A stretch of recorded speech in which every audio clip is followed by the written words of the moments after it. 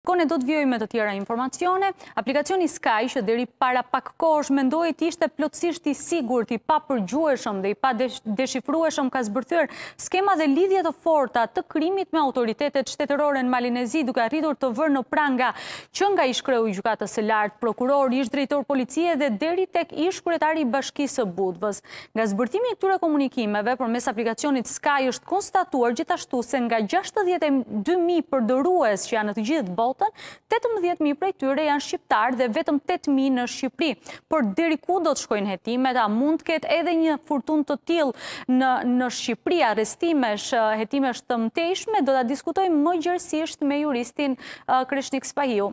Zoti Spahiu, përshëndetje. Faleminderit që jemi së bashku në këtë komunikim të drejtpërdrejtë. Mali i Zi duket se u trondit jo pak nga, nga ky operacion. Pritet të ndodhë diçka e tillë edhe në Shqipëri në këndvështrimin tuaj? Po, pritet që të jetë në të njëjtat nivele, ndoshta duke marrë për bazë dhe numrin e përdoruesve shqiptarë, pritet që hetimi dhe procedimi penal ndaj subjekteve të jetë në një nivel më të lartë se Mali i Zi. Por për t'ia sqaruar paksa opinionit publik, aplikacioni Sky është pak a shumë një lloj rrjeti komunikues, i cili është konsideruar shumë i besueshëm. Përdoruesit e aplikacionit Sky kanë përdorur aparatet celulare të cilat vlejnë afro dy mijë euro dhe kanë pasur një lloj aplikimi të abonuar deri deri në 1200 euro, të cilat siguronin gjoja një lloj sekretimi dhe sigurie në komunikimin e tyre. Uh, është e çuditshme, po pas anglishtes, shqipja është gjuha e dytë në në komunikim. Uh, siç del dhe nga raporti, afro 30% e përdoruesve janë shqiptarë, 10.000 diskutohet që mund të jenë shqiptarë të Kosovës, Maqedonisë Veriut, Preshevës, Malit të Zi apo diasporës dhe 8.000 janë përdoruesit direkt në Shqipëri. Nga këta 8.000 diskutohet që afro 1.000 subjekte të jenë zyrtarë të të gjitha niveleve. 1.000 subjekte? Po, një mijë subjekte diskutohet që të jenë zyrtarë, që do të thotë aty mund të kemi në në nivele deputetësh, ministrash, inspektorësh, shefa policie, gjyqtarë, prokurorë, avokatë, doganierë, ekspertë, kontrollues, ushtarakë. Tani çështja është që ta ta qartësojmë, nuk do të thotë që 100% e tyre kanë kryer vepra penale. Pra, përdorimi i aplikacionit Sky nuk nënkupton që 100% janë përfshirë në kryerjen e krimeve apo veprave penale. Dhe për këtë arsye... A është i paligjshëm ky aplikacion zoti Spahiu? Dëgjo, aplikacioni është konsideruar tashmë i paligjshëm, Departamenti i drejt Departamenti Amerikan i Drejtësisë ka nxjerrë fletë arresti për zotëruesin e këtij aplikacioni dhe është se janë sekuestruar të gjitha serverat.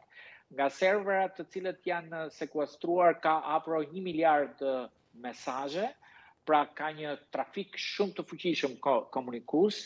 Europoli ka ngritur grupe të veçanta hetuesish dhe oficerësh të cilët merren me zbardhjen e tyre. Ka një grup ushtarakësh dhe zyrtarësh të lartë të cilët po hetojnë në Shqipëri, për faktin sepse edhe vetë numri i lartë i përdoruesve është nga Shqipëria dhe padyshim që nëse nëse ka nga ata të cilët mendojnë se arrestimi ishte i një zyrtari të lartë të policisë ishte sporadik dhe përfundimtar, do të thoja që është qesharake, unë e kam bindjen që ashtu siç ndodhi në Malin e Zi, ku u ranë në rrjetën e drejtësisë ish-kryetari i Gjykatës së Lartë, ish-prokurori, ish-kryeprokurori i Prokurorisë Speciale, ish-kryetar i Bashkisë Budva, ish 14 ish drejtues komisariatesh dhe policie. Pra, kishte një rrjet shumë të fuqishëm. Mos harrojmë nga momenti që ka dalë sekuestro për serverin dhe arresti për mirëmbajtësin dhe pronarin e këtij aplikacioni, janë sekuestruar afro 1.200.000 euro dhe afro, afro 17 ton drogë, përfshi këtu llogari të ndryshme bankare, pra pritet që ndoshta për herë të parë në histori, krejt rastësisht, të gjithë ata që i kanë bërë gjëmën Shqipërisë, të bien në rrjetën e drejtësisë, ndoshta edhe pa dëshirën dhe vullnetin e drejtësisë. Sepse nëse realisht kanë përdorur për kryerjen e dhënies së lejeve të ndërtimit, tenderave, marrjes së rushfeteve për ndoshta për emrime, shkarkime, për çdo akt të cilat lidhen drejtpërdrejt me me privatizime, me me me akte të cilat lidhen me shpërdorimin e detyrës, atëherë do të kemi ndoshta për herë të parë që nga themelimi i shtetit shqiptar goditjen më të fortë ë në të cilën do duhet të arrestojmë shtet brenda shtetit. Goditjen më të fortë të... Uroj, uroj që mos mos ndodhë. Cilën cilëson zoti Spahiu? Nuk dëshiron, po. Cila është goditja më e fortë në këndvështrimin tuaj? Nëse... Në nivel kryeministri? Jo, Unë nuk u ndala në një individ. Jo, jo, patjetër, edhe unë po flas për, për, nivelin e zyrtarëve, pra deri në ç'nivel zyrtarësh mund të, mund të arrijet. Unë parashikoj, unë parashikoj që do të jetë shumë e rëndë se çështja e inceneratorëve. Uh, unë nuk e, e shtriva me subjekt, sepse unë nuk e di nëse Kryeministri i Shqipërisë, apo ish-Kryeministrat e Shqipërisë, kanë përdorur aplikacionin Sky, Por, mund t'ju jap një statistikë në të cilën ju thashë, afro 1.000 zyrtarë kanë përdorur këtë aplikacion Sky. Tani, të mbrenda këtyre, sepse mundet që edhe të përdorësh aplikacionin Sky dhe të jesh i kujdesshëm. Nuk, nuk është tani si ata që përdorin Signalin, ata që përdorin Whatsappin, ata që përdorin Viberin, pra Mund të ndodhë që ta përdorësh këtë aplikacion, por përsëri janë të kujdesshëm në kryerjen e veprave penale. Ajo çfarë mund të them tjetër për publikun, është që kjo lidhet me dy mandatet e fundit të të qeverisjes. Pse? Jo se e them unë, po sepse aplikacioni ka është sekuestruar dhe funksionon nga 2015-a. Pra bëhet fjalë për politikanë dhe zyrtarë të lartë nga viti 2015 deri në vitin 2000 21 të së majtës mund të jenë të së djathtës, pushtetit lokal apo deputetë parlamenti të të gjithë krahëve, pra është më e rëndë sesa një individ. Pra në rrjet do bien grupe të organizuara, të strukturuara, të cilën e kanë përdorur këtë rrjet për të qenë absolutisht një kupolë e organizuar e krimit, trafikut dhe të korrupsionit në në vend. Mendoj që do të jetë goditja më e madhe që kemi parë ndonjëherë. Kuptohet, ka njerëz që e masin goditjen e madhe me lartësinë, dhe pjesën vertikale, jo me atë horizontale, Unë di të them që sasia dhe rrjeta paralele do të jetë shumë e gjerë. Pastaj deri në çfarë tavani do të mbri, mbetet për t'u parë, sepse thashë, nuk kam dijeni nëse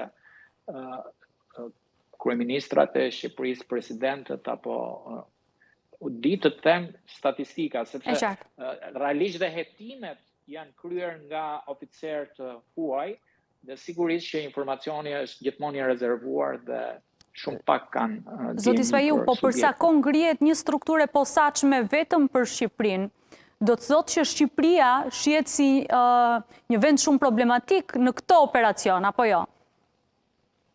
Po sepse ju thashë nga 62.000 aplikantë që përdorues të këtij aplikacioni, 8.000 janë në Shqipëri. ë, po jo vetëm në Shqipëri. Pra shqiptarët kanë qenë shumë të të prirur ndaj kësaj, se janë 18000, po 8000 janë që kanë funksionuar në Shqipëri dhe mjafton ky fakt që uh, të përqendrohej hetimi i i uh, prokurorëve të të huaj të përqendrohej në Shqipëri edhe për arsye të tjera të cilat tashmë dihen, sepse Shqipëria është një nga vendet me të renkuara në në indeksin e korrupsionit në nivelin më të lartë, të renkuar në nivelin e trafikimit të lëndëve narkotike në nivelin më të lartë rajonal dhe sigurisht kur kur bashkohen dhe kanë qasje njëkohësisht ka një ndërthurje të situatës aktuale dhe të hetimit që lidhet me këtë aplikacion, i cili krijoi praktikën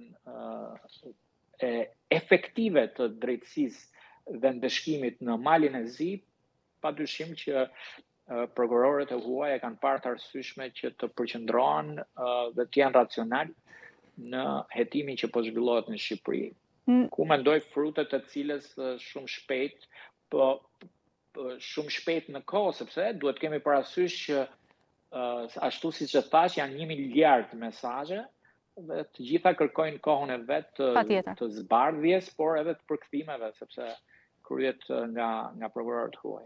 Në rast se kjo goditje do të jetë kaq e madhe, sa thoni ju, zoti Spahiu, qoftë në rafsh horizontal apo vertikal, çfarë mund të ndryshojë në skenën politike publike të vendit, jo vetëm politike. Pra mund të kemi shpresë për një erë të re në Shqipëri, për një frymë të re, sepse nëse do goditja do të jetë kaq e madhe, flitet për një spastrim. Ë, dëgjo, në në bindjen time unë jam paksa i ftohtë në këtë gjykim, që do të thotë ë ka një parim politik që një sistem politik i korruptuar mundohet të të adoptojë të gjithë shoqërinë me nivelin e korrupsionit me qëllim që korrupsioni të duket një gjë normale, edhe krimi të duket një gjë normal. Unë gjykoj që pjesa më e madhe e popullit shqiptar, të cilët shkojnë kutitë e votimit, nuk i votojnë ata politikanë se janë të ndershëm. Absolutisht. Unë jam i bindur që këtë nuk e bëjnë as socialistët kur votojnë uh, përfaqësuesit e tyre, as demokratët kur votojnë përfaqësuesit e tyre, as lësëistat kur votojnë drejtuesit e tyre.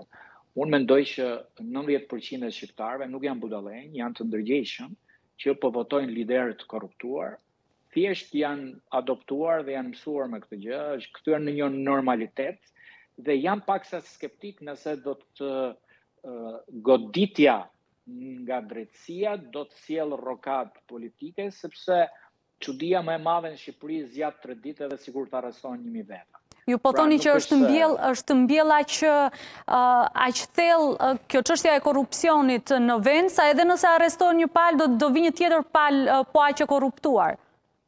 Është kthyer në në mënyrë jetese dhe në në kulturë në kulturë qytetare që do të thotë në provinca, gangsterët apo të pasurit e, e, e fshatit apo provincës respektohen më shumë se një pedagog, më shumë se një intelektual i cili nuk ka të paguajë dot një shishe birrë apo një kafe, respekti është ndaj atyre të cilët bredhin me, me, me Range Rovera, me makina të shtrenjta, kanë vila të shtrenjta, kanë bodyguarda, kanë shoqërues, pra ne jemi kthyer në një shoqëri të cilët i pëlqejmë këta bajraktarët e rinj, këta zengjinët e rinj, të cilët janë të të inkriminuar dhe jam pak skeptik që domethënë fati fati i shqiptarëve në këtë histori është që po përfshihet drejtësia e huaj, po përfshihen Europoli, po përfshihen drejtësia e vendeve të tjera, Departamenti Amerikan i Drejtësisë, Brukseli, po përfshihen absolutisht partnerët dhe shërbimet inteligjente, sepse po të jetë për vetë shoqërinë shqiptare, shoqëria shqiptare mund të vazhdojë siç i ka votuar tridhjetë e tre vjet, edhe 33 të tjera, derisa të vdesin këta, domethënë, mund t'ju... Po mirë, nga kush do ta presim ndryshimin, zoti Spahiu, se duket sikur po e bëjmë aq zi, sa vështirë të besojmë që mund të ketë edhe njerëz të ndershëm, që të na sjellin një frymë të re, larg korrupsionit? Fatmirësisht dhe fatkeqësisht, ndryshimi këtë radhë po vjen nga jashtë, që do të thotë shqiptarët e treguan që kanë qenë të pafuqishëm për të sjell ndryshimin dhe dhe për të larguar establishmentin e vjetër. ë uh, të parë duke parë aleatët dhe miqtë tanë uh, shekullorë se sa të paaftë jemi si shoqëri dhe sa të uh, sa të prapambetur uh, dhe provincialë në përqafimin e së resë, atëherë kanë menduar në mos në angelën vetëm dhe të organizojnë mekanizmat e tyre që duke qenë se ne jemi të paaftë t'i largojmë me votë, atëherë partnerët do i largojnë me pranga. Kështu që unë kam shumë besim që një ditë të bukur ashtu dhe siç ka ndodhur në pothuajse në të gjithë vendet e, e Ballkanit, të gjithë peshkaqenët e mëdhenj të jenë në rrjetën e drejtësisë dhe t'ia imponojnë partnerët tanë popullit votimin e liderëve të rinj. Ndërkohë ka patur edhe një tjetër çështje, zoti Spahiu, që ka bërë jo pak zhurmë në Shqipëri dhe patjetër për shkak edhe të seriozitetit që ka patur, siç ka qenë identifikimi i një parcele kanabis në Zall-Herr, brenda repartit ushtarak. Po, po kjo është një nga ngjarjet më të rënda të cilat që të jemi koshientë, sigurisht që nuk ndodh, jo në vend europian, po mendoj që As në bazat ushtarake në Afrikë nuk mbillet kanabis. Unë nuk po, po krasohem me vendet e BE-së, po mjafton të shkojmë në Kosovë, në shtetin e Kosovës, shqiptarë ata, shqiptarë ne, qeveri shqiptare ata, qeveri shqiptare ne, nuk ndodh që në Kosovë, fshatarët shqiptarë Në Kosovë, fushat me speca t'i mbjellin me hashash, fushat e kastravezave t'i mbjellin me hashash, e jo më që të shkohet që në në në në territoret e bazave ushtarake të mbillet lëndë narkotike. Dhe ne jemi shumë larg, jemi një shekull larg fatkeqësisht edhe shtetit të dytë, ndonëse shumë shtet i ri Kosova, edhe qeverisja më e keqe në Kosovë, Edhe qeverisja më e keqe e Kosovës, ë gjatë regjimit më të keq në në në në këto 20 e sa vite në në Kosovë, ë përsëri ka kontrolluar më mirë se qeveritë shqiptare territorin dhe nuk ka lejuar ë kanë ë të mbjelljen e gjithë fushave me me kanabis në çdo territor të të komunave të Kosovës. ë uh, Kanabizimi i i territorit shqiptar uh, është një njollë shumë e zezë dhe shumë e rëndë për për Shqipërinë. ë uh, Për aq më tepër që Shqipëria ndryshe nga Kosova është një vend i NATO-s dhe ka detyrime të drejtpërdrejta. Unë ndjej keqardhje që uh, për këtë ka reaguar vetëm ministri i Brendshëm, jo se jam kundër, patjetër, domethënë ministri i Brendshëm ka bërë shumë mirë që ka reaguar, por në radhë të parë kishte dy detyrime të tjera, kish një radhë reagimi. E para duhet reagonte ministri i Mbrojtjes dhe së dyti duhet reagonte shefi i shtabit. Ende nuk kemi asnjë reagim. Po përveç reagimeve, a do duhet kishte përgjegjësi, zoti Spahiu, se jemi mësuar që e kalojnë shpeshherë vetëm me një reagim publik edhe... Pyetja shumë, pyetja juaj është brilante. Nuk mund, atëherë këta as kanë ndërmend të nxjerrin përgjegjësi, se për sa kohë as nuk dalin të reagojnë, këta nuk e quajnë problem. Pra, ndërkohë, e imagjinoni dot se çfarë mund të Çfarë mund të ndodhë nëse në një bazë ushtarake të NATO-s në një vend tjetër? Mos harrojmë që në në shtete europiane, vetëm se treni vjen me vonesë 30 minuta, ministri i transporteve jep dorëheqje. Ë vetëm nëse ka një incident ushtarak në kufi, ministri i mbrojtjes jep dorëheqje. Ë dhe është krejtësisht e papranueshme dhe sigurisht ju them që nuk do ndodhi dhe këta nuk do nxjerrin përgjegjësi, sepse këta kanë një parim siç u tha, që pas tre ditësh edhe çudia më e madhe do të harrohet dhe janë të bindur që duke e kaluar në heshtje dhe duke dalë vetëm një ministër të thotë që kemi bashkëpunuar etj etj. Sot, sot ende nuk ka një transparencë që të thuhet kush ushtarak në repartin ushtarak kanë qenë të përfshirë në këtë histori. Këta duan të anashkalojnë. Se bëri diçka përshtypje në deklaratën që bëri ministri Balla, vetëm ditën e sotme ka reaguar sa i takon kësaj çështje, dhe tha që kanë qenë në koordinim me policinë ushtarake, të cilët i kanë dhënë koordinatat për të identifikuar se ku ishte mbjellë kjo parcelë me kanabis. Po si ka mundësi që nuk ishte identifikuar më herët, po ishte lënë derisa bima të shkonte në 2.7 metër, Dhe a duket kjo fakti që policia ushtarake jep koordinatat, a duket kjo sikur ka një luftë të brendshme në ushtri, ndoshta mes grupeve, apo nuk e di, nxjerrje informacioni, përplasje interesash mes tyre që ka çuar deri në denoncim, sepse nuk besoj se në repartin ushtarak ka qenë kaq e vështirë për t'u identifikuar një parcelë me kanabis. Edhe kjo pyetje juaj është shumë profesionale, realisht.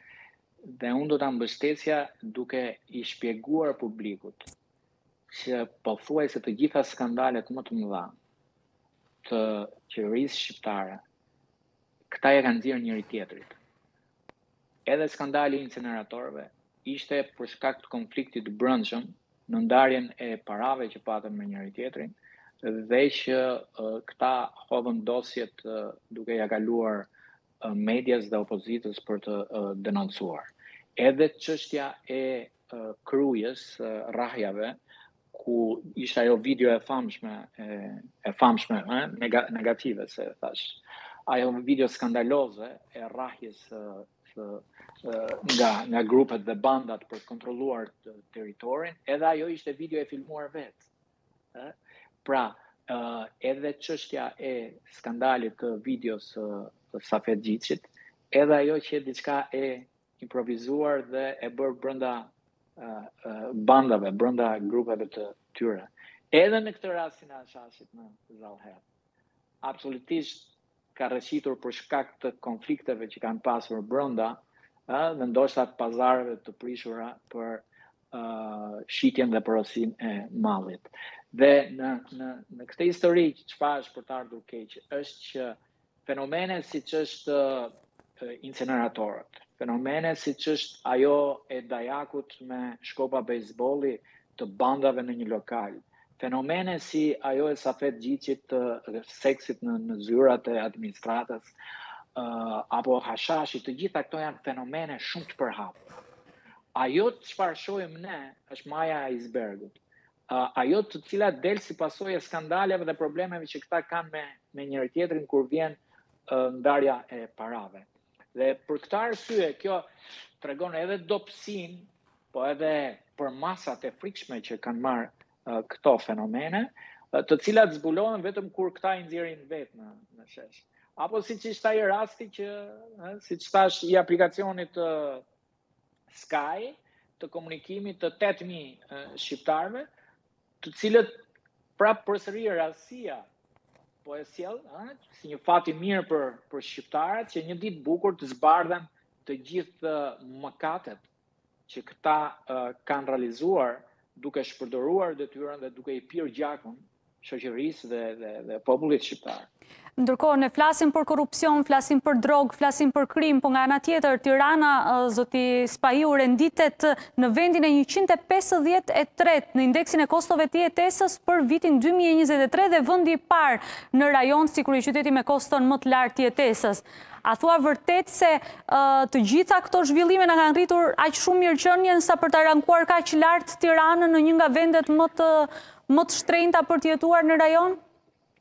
Nëse nuk do të ketë një strategji kombëtare dhe vullnet pozitiv jo të kontrolluar nga oligarkët, të një shteti jo të marrë peng nga ndërtuesit, po ju them që sot përsëri janë çmimet e lira dhe nëse Shqipëria, e cila patjetër do të shkojë drejt hapjes së dyerve të emigrantëve të kontrolluar, pra sepse Shqipëria po përballet me krizën e mungesës së kuadrove apo fuqisë punëtore, ë qoftë fuqisë punëtore në turizëm apo në sektorë të ndryshëm, në ndërtim, në në në sektorin e shëndetësisë dhe në shumë sektorë të tjerë dhe detyrimisht ashtu si çdo vend i BE-së do vi dita që ne do presim shumë shpejt, ndoshta brenda 4-5 vitesh fluks të fortë emigrantësh nga jashtë, sepse kemi nevojë për të. Dhe kjo do do të do jetë kolpo më e madhe që do të thotë uh, ardhja e të huajve në Shqipëri do ta dyfishojë uh, koston e jetesës dhe shqiptarët duhet të jenë të përgatitur për këtë gjë. Uh, e dyta, pastrimi para... Pse do ta, pse do ta dyfishojë, zoti Spahiu, ardhja e të... Se rrit kërkesën, rrit, rrit kërkesën. Rrit kërkesën, dakor, po, po, po përveç... Dëgjo, në qoftë se do të vijnë në Shqipëri, nëse do të vijnë në Shqipëri 500 mijë emigrantë, që do vijnë nga Bangladeshi, Indonezia, Filipinët, po ku ta di unë për fizioterapiste, kuzhiniere, shtëpijake, infermiere, mjek, inxhinier apo recepcionist, hotelier etj etj, atëherë në qoftë se do kemi një fluks ëh, si të themi brenda 6-7 vitesh, mm -hmm. që do të jetë një numër 300.000, 400.000 të huajsh. Të gjithë këta do kërkojnë një banesë. Pronarët do të rrisin, ha? pra do të kërkesa do të dyfishohet në raport. Në qoftë se sot kemi 300.000 shqiptarë që kërkojnë shtëpi me banesa, përfshirë dhe shqiptarët e Kosovës e tjera e tjera, po të huaj që vijnë nga lufta e Ukrainës e tjera e tjera, nëse do të kemi emigrantë që do të vijnë në Shqipëri, Do të dyfishohet kërkesa dhe kështu ka ndodhur në të gjithë Europën, që në moment që ka fluks emigrantësh, dy trefishohen çmimet. Pra, nuk është çudi që mbas 4 vitesh ë të, të qiratë në Tiranë të jenë mbi 7 800 euro. E para, e dyta, pastrimi i parave, qarkullimi i parave të pista, absolutisht ka rritur artificialisht çmimet. Ka rritur çmimin e blerjes, ka rritur dhe çmimin e çmimin e qeras. Nga ana tjetër, nëse do të kishim një qeveri dashamirëse për interesat e popullit, ajo duhet të vepronte si qeveria e Kanadas dhe qeveria e Spanjës, të cilat sot kanë një projekt për të ndaluar për disa vite blerjen e pasurive të palujtshme nga shtetasit e huaj. Ë uh, ardhja, ardhja po të shkoni në bregdet, ë një përqindje shumë e lartë e shtëpive, po edhe në Tiranë, blihen nga italianë, blihen nga çekë, blihen nga hungarezë, blihen nga rusë, blihen nga ukrainas, blihen nga polakë, ë të cilët ende u duket çmimi i lirë në Shqipëri. U duket okazion ende për ata. Dhe vijnë blejnë, plus që nuk kanë bregdet këto këto vende të cilat vështirësojnë, vështirësojnë jetesën për qytetarët, për vendas. Vështirësojnë, vështirësojnë rrisin çmimin, dyfishojnë çmimin e blerjes, po dyfishojnë dhe qiratë. Tani, çfarë ndodh? Me këto fenomene janë përballur shumë vende. Spanja, e cila ka pasur çmime super të lira përpara dy dekadash apo përpara një dekade, është duke diskutuar projektligjin për të ndalur për pesë vjet shtetasit e huaj të blejnë në Majorka, të blejnë në Barcelonë, të blejnë në Ibiza, të blejnë uh, tokë apo apartamente. Në qoftë se nuk ke pasaport, apo nuk je shtetas, apo rezident. Aha, po, të kesh leje qëndrimi si, si emigrant në, në, në këtë, në, Spanjë. Pra, nuk mund të shkojë një shqiptar nga Shqipëria, një gjerman nga Gjermania, një anglez nga nga nga Anglia të shkojë të blejë në Spanjë apo të blejë në Kanada. Dhe në qoftë se duan, po unë mendoj që nuk do e bëjnë, e di pse nuk e bëjnë, sepse influenca e oligarkëve dhe ndërtuesve tek qeveria shqiptare, te regjimi politik i Tiranës është shumë i fortë. Pra vënë interesat e oligarkëve mbi interesat e qytetarëve. ortakria që kanë. Mhm. Pra, të jeni, të jeni të bindur që politikanët më të fuqishëm në Shqipëri janë ortakë në disa firma ndërtimi. Dhe ata nuk munden të cënojnë interesat e tyre, se cënohen interesat e tyre në qoftë se në qoftë se ata ndalojnë shtetasit e huaj, atëherë çmimi nuk rritet në Shqipëri. Që do të thotë ndihmohen shqiptarët, qiratë nuk rriten, as çmimi i blerjes nuk rriten. Qoftë se është qeveri që mendon për popullin dhe për shqiptarët, duhet për përkohësisht, përkohësisht, ashtu siç ka moratorium për mos lejimin e skafeve, anijeve për të ndaluar trafikun etj etj, atëherë duhet edhe një periudhë pauze për të mos lejuar shtetasit e huaj që të blejnë apartamente në Shqipëri, në qoftë se, dëgjo, kjo ka anët negative, ka disavantazhet e veta. Por ndërkohë vë interesin e qytetarëve primar. Po, edhe pjesës së varfër, atyre të cilët nuk kanë mundësi të paguajnë. Se si mund të jetosh në Tiranë me 400 euro, kur e ke rrogën 300.000 lekë. pra të të vjet të të vjetra sigurisht.